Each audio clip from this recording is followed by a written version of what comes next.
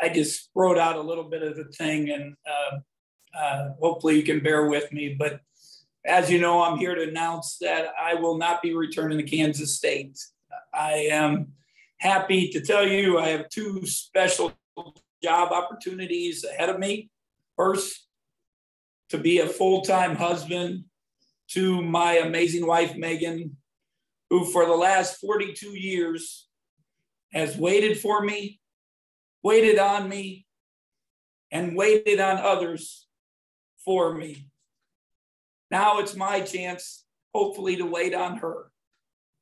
My second job opportunity is to be a grandpa to four very active grandkids. When I came to K State, I told many people my number one goal was to be a great grandfather. Hopefully, I can live up to that goal. When change happens like this, the people that are most affected, but probably the most overlooked, are the players. I just met with our players earlier this morning to tell them the news. But I also emphasize to them my number one priority right now is to help them through this difficult situation and hopefully help them move forward to new and better things. I hugged and had to share tears with many of our players. And I emphasize again that I'm there for them, and that'll be my priority over the next couple days to help them. My next concern is helping our staff, who has dedicated endless hours to K State basketball. They have families that they have to take care of, and it is my goal and concern to help them hopefully get jobs. I apologize to them last night for not fighting for them three years ago after we went to the Elite Eight and won the Big 12 again to protect them with long term deals. Hopefully, K State will do the right thing and take care of them for what they've done for the university. I truly love K State. It was amazing to me when I arrived at K State, and I've told this many times how many coaches, ones that were fired, ones that left, told me I would love Kansas State and Manhattan. As I expressed last night after the game, I'm really proud of what we've done and accomplished here. And I still want K State to be successful. Earlier in the season, one of the social media people asked how we can get more people in the stands. I would tell you and challenge you, just like I do to myself and to our players. You might look in the mirror. There's no doubt winning helps. I know that. Everybody knows that. But the negativity that surrounds K State sports at times is really, really sad to me. This is the only school that I've been associated with that I am afraid to give our recruits and have them connected with our social media because what they will hear and see. I know other coaches in our department feel the same way. Hopefully, uh, with, that can change. Maybe with the new coach, and and everybody can be positive about K State and K State athletics. I want to thank John Currie and President Schulz for 10 years ago, ironically meeting me in New Orleans at the Final Four and bringing me to K State. I also appreciate the loyal support of President Myers, who was in our locker room and lived every play, cheering for us every game. It's been an amazing 10 years for Megan, my family, and I to be associated with K State and the Manhattan community. We have made lifelong friends and appreciated the love and support of the K State fans. I'm not sure right now what my future is in front of me. As I said before, I hopefully can be a more caring husband and also be a, a loving grandfather. I have a strong faith and always have been blessed by God's plan in the past, and I believe uh, something good will happen. Many have asked me and encouraged me to tell me that I'll continue to coach. We'll see about that. I know when I got back last night and told my wife the situation, she said, You're not done, and said, Don't tell people you're retiring. Maybe there's some AD out there that would appreciate a coach that graduates players, wins championships, supports the university, and the, embraces the community, and maybe brings some good players with them and has a successful program. I appreciate everybody. I appreciate K State Nation. Uh, it's been an unbelievable pleasure to be the coach at Kansas State. And I hope I can always come back to Manhattan, Manhattan and enjoy Manhappiness and the people that are part of it. Again, thank you. Appreciate everybody. Thank you, Coach. We'll go to questions now. Uh, we'll start with Kellis.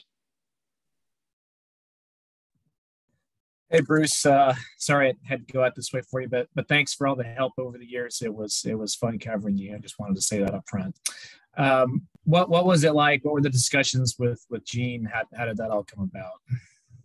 Over the last I, am not getting into that. I just you know it's just it happens. Uh, it's been a long two two months to be honest. Uh, you know the COVID was very hard.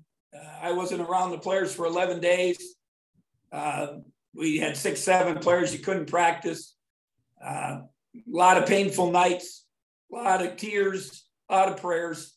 But, you know, we survived. I was hoping for the players' sake that, uh, you know, we could have a good finish. I think we were capable, but obviously it seemed like every game something happened that, you know, didn't go right. And, uh, you know, it's, it's, you know, it's, you always wish you could have done better, but it didn't happen. So, um, you know, all we can do is just, you know, help the players, help our staff, and then be there for our for our families. I also want to ask you, you guys had the, the program going at such a high level after your first seven seasons, and then it teetered off the last three. In hindsight, is there anything you wish you'd done differently to keep that momentum going? I mean, I don't know. It's, uh, you know, I, I thought the, the, the year after the championship, you know, we were close. We um, I think some, you know, you wish some of the guys would have been more connected. And and that year, obviously, last year, COVID, the young team re- regrouping was was, you know, in a really good league was tough to deal with. I, obviously, we made progress. I don't know how many coaches have reached out to me and said you made some of the biggest improvement in the country. Um, you know, and and you know, so we we made big strides, but you know, we needed to make a little more strides, and that's, you know, it's just it's just tough. Um, you know, it just uh, sometimes you know uh, the injuries. My wife calls it the curse of the cats, and I, am not sure what it was, but just that's sometimes how life is. And and you know, credit to our players, our staff for always getting up and uh, meeting the challenge and and doing what uh, you know what they they needed to try to win. And we just, you know, as I said, it was even last night. Mike has that wide open three, shoots 40% from three, makes that thing. We go up, the place gets excited. Probably we get the momentum, but uh, we miss it. They go down and run off three or four straight baskets, and uh, you know we couldn't get a win. And last one for me, if, if you were recommending this program to another coach, what would you tell them? What kind of potential do you think is still here? I think you you know you don't know what is going to happen with the players. Obviously, you know the portal changes everything. I think that's every school in the country. But uh, you know, K State's a good place, and uh, you know we got you know it's it's it's not easy to recruit to because it's hard to get to. We don't have a great recruiting base. Um, it's a hard job and you know it but it's a great job and what we've always said once we get guys there we always had a chance to get them and but it was it was tough getting there um, you know, I would, you know, I would tell you that um, I know I probably put in more days recruiting than probably any other coach, maybe in the country. Uh, I had some people tell me I went out more days than anyone else. Uh, guys like Drew Timme, I saw as many times as you could. Uh, uh EJ Liddell, Jared Allen. I mean, I could go on and on. Uh, you know, guys that we recruited. And, uh, you know, you, you put in the time, Jeremiah Robinson Earl, I saw him win three state championships, freshman, sophomore, junior year. You know, so it, it you know, sometimes you, you had that we got you get fortunate with players like Dean and, and Barry. Uh, all you, you, if you're going to come here, you better come here to work uh, because it, you got to find guys. And now with the portal, you hope that you know it probably changes everything. I guess a little bit makes it a little easier. Obviously, we took advantage of it this year. Thanks, Bruce, and enjoy your time with the grandkids. Thank you. Uh, next question to Michael. Good morning, Bruce. Uh, how much of a toll have the last six games, and for that matter, the last three seasons taken on you?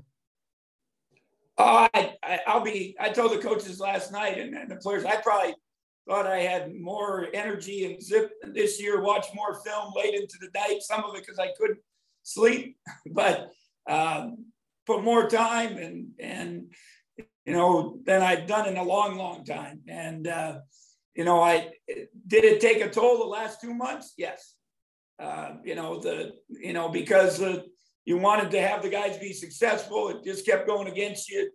You know, you kept hoping, praying that things would go our way and it didn't. So, uh, but I love coaching. I love, I love the players. Uh, my favorite time is writing up practice. My second favorite time is being at practice. And uh, my third favorite time is interacting with the players after practice. So, it, uh, you know, that part of it is, is still my love. Uh, you know, if I don't coach again, I, you know, we'll have to see on that. Uh, you know, I'll be teaching somewhere with some kids working on fundamentals or some because it's what that's all I know and that's all I love. Might be my grandkids, but I'll be out there uh, doing something. And are you leaving the door open if some opportunity would arise for next season? I think I said that. Yeah, I think I said that. And uh, coming here, working through Coach Keady, obviously you had a background of knowledge about K State. Just where do you think you fall within the lineage of uh, Hartman, Winter, Kruger, and, and all those previous coaches? I think I answered that last night we've we've done some pretty good things. It's been 45 years and only two championships, and uh, I, am proud of that. And I did it with supposedly the other guys. I did it with our guys. I did it the right way. I graduated people. We went to the Elite Eight. Um, there is a special group of coaches, though, and, and the one thing I I begged and asked for was we need to, or K State now, not we anymore, needs to really promote our history. I, I fought for Tex Winter Drive. I asked for Lon Kruger to be honored. I, I've asked for Jacob Pullen and uh, Michael Beasley and Rodney McGruder, and then hopefully Dean Wade and Barry Brown. They have their banners up. There hasn't been a banner put up in a long time. I asked for the coaches to be acknowledged that the great lineage of coaches that you just brought up, from Tex Winter to Jack Hartman to Jack Gardner, their names should be up in the rafters um, to really promote K State basketball. That's important. And uh, I, I hope somebody listens. I hope they do it. Obviously, they didn't listen to me because I asked many times. Hopefully, they'll do it in the future. Thank you, Bruce. I appreciate your time as always. Thank you. Uh, we'll go to Todd Leabo. Hey, Coach, just a question about last night. I mean, you obviously had that long speech at the end of the press conference. Was was that said because you knew that was going to be the end for you, or was that the catalyst afterwards, timing wise? Did you find out afterwards that you were going to resign? I think uh, I've been preparing for this for a long time, and and um, I told one of the administrators. He he said, "Do you really want to go through this?" And I said, "Yes, I have a good answer for everybody." And I I hope I impacted. Obviously, I I I can't tell you how many text messages from coaches, from players, from former players. Uh, you know, and, and I I spoke from the heart. Hopefully, I spoke the truth and uh, hopefully it meant something to somebody. I know it did, and I can't. My phone went kept buzzing till 3 a.m. and then started again at six, and um, I haven't even. And I got calls that I can't even answer from you. Know, Coach Keady keeps calling me. I haven't been able to even respond to him, and Tom Izzo, and on and on. Rodney McGruder, the players, uh, Brian Cardinal. You know, just it's just endless. I, I just, um, you know, it makes me feel good because uh, I told the players I got into coaching, got into teaching because my dad and mom, uh, they thought there was no better life than to help others. Um, and that's that's been my goal. And uh, hopefully I've I've impacted people and helped them with with their lives so now they can help others. Um, I, everybody in life needs love. I was blessed with amazing parents, met, blessed with an amazing wife and family. Uh, everyone needs hope. Um, you see it in the Ukraine right now. I would I would tell anybody listening, please, you can help. I, I just sent stuff uh, to help people I know over that I've done clinics with. And um, everybody needs hope, and then everyone needs a purpose. And uh, I think that became so obvious during COVID. Um, you know, and and hopefully I can find some purpose here in the last last chapter, but we'll see what happens. And uh, I noticed you you thanked John Currie and uh, you know the previous president and all that. I didn't hear you mention Gene Taylor. Is that an omission by? Uh, yeah, I just John and obviously John and President Schulz brought me here. Uh, President Myers, obviously, and then Gene. I appreciate Casey Scott. Uh, Gene, just to you know, transition. It's not easy when you got a new coach. Uh, I told him last night. Appreciate that he stuck with me. Obviously, he got to enjoy an Elite Eight and a, a Big 12 championship, but doesn't happen very often. And then also Casey Scott, uh, who really was a, a, positive liaison in between uh, when John left and Gene came and, and helped us. And I always remember, and I said it at uh, when we probably people told me one of the most special moments in Bramlage history. We celebrated the Big 12 championship, uh, winning against Oklahoma. At Casey Scott had the um, you know, forethought to uh, not have uh, the state tournament that year so we could honor our seniors. And then obviously it ended up being a, a magical day and moment to, to celebrate a championship. Thank you, Coach. Good luck to you. Thank you. Uh, next question to uh, Mitch Fortner. Yeah, coach, you mentioned the social media and how you felt, you know, you didn't want your players looking at it because it was so negative. But I mean, did you feel personally disrespected by some of the fan base, or did you also feel maybe at the start you never got a fair shake by some people? Yeah, there's there's no doubt some people have said that to me. I still remember if I I walked in, there, there were protests. They wanted Doug Gottlieb as the coach or something. It was the uh, most ridiculous thing I ever heard. Um, you know, I, I talked last night about 13 winning the championship, knowing, you know, I didn't get credit. Uh, but as I said, you know, I, heard from every one of those guys today and last night. They're probably my closest uh, group and, and uh, of players. They come back. Um, you know, they they love Manhattan. They love K State. They they appreciated being welcomed back. Um, you know, and and you know, it's not just me. It, there's other coaches in our department that feel the same way. And I didn't say the players; I said recruit, because um, usually you want the recruits connect with your associate. You get they get the love.